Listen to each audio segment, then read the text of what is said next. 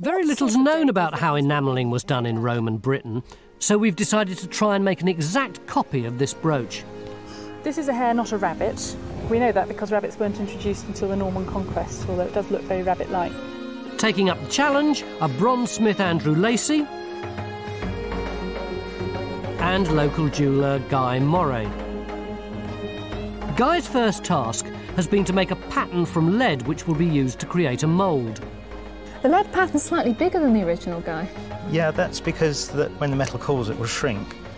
So if you want it to be the right size, it has to be a little bit bigger. No, you won't. It's quite tough stuff, actually. Guy's using cuttlefish bone for the mould. Well, so that's completely together now, Yeah. all round. Then you just take it apart. Take it apart.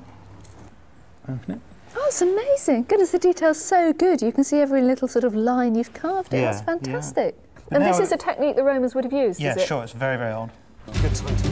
In our workshop, our bronze mixture, made up of 90% copper, 7% tin, and 3% lead, is ready to be poured into the cuttlefish moulds.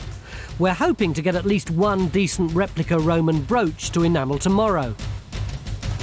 Oh no! Which means we can't afford to spill any. Five minutes later, and it's clear the furnace wasn't hot enough.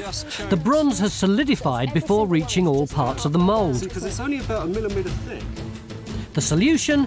Add more tin to lower the melting point, allowing the liquid metal to fill out the tiniest details of our hare. No idea what's happening. Oh. Ah! Oh, that's, lovely. fantastic. Look at that. Through. So ears, eye, front paws, back paws. Yep, we're just going to have to chisel those away. Meanwhile, Stewart's fascinated by an engraving depicting the Isle of Wight. Got this really nice engraving here, which was done in 1545, showing the view from Portsmouth towards the Isle of Wight over here. And there's, there's the Mary Rose sinking fantastic, in the right. water there.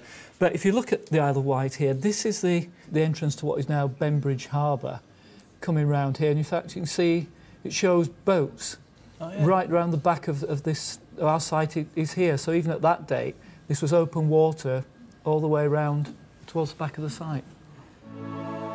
Looking at the same view today, this whole area has been reclaimed, but it once formed a very big natural harbour.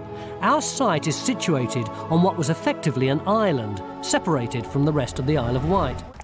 Our attempt at enamelling will take place tomorrow, but first we have to create some glass using silver sand and soda A little bit lime. of this. Some of that, a little Some bit of that, a little bit of this. In this case, malachite, a copper mineral, will colour it. Have you done this before? Um, not quite like this. So you really don't know if this is going to work? No. So we're just going to let them cook for a while now. Enamel is essentially made up of ground glass, so this has got to work. Just at the treacle tart stage. So this is one like leave it overnight, maybe. Yeah, if we put the lid on just for a little bit. In our Roman workshop, today's the day when we try to enamel our Roman brooch, and for that we need some newly created coloured But, glass. uh, let's grab this one. Hey, look at that. You see Oh, the it's copper on the surface there? What, the pinkish stuff? Yeah, the pinkish is bright That's pink. copper metal? Yeah, yeah, yeah. It's just Ah, appeared spontaneously. That's it. Is that a good sign or a bad sign? That's um, a strange sign. That's not necessarily what we want. See, ah, see how this is green on the underside? That's actually Look the glass from the pot coming through the crack. That's it. It's just just leaked all the way into. That's a nice greenish colour, isn't it? yeah, it's beautiful. How do we get it out? Oh!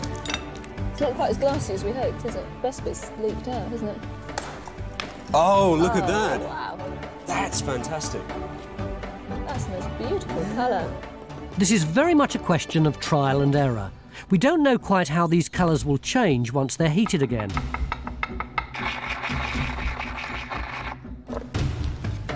Adding cobalt to our blue glass should give us a deeper colour.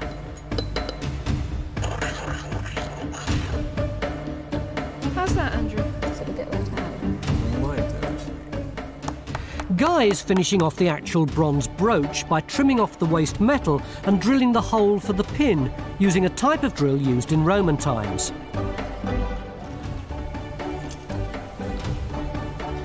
How long is it going to take? 30 seconds to a minute, maybe. Oh, wow, so you can just sit and literally watch it go. Yeah, just watch it. It will darken and then become glossy.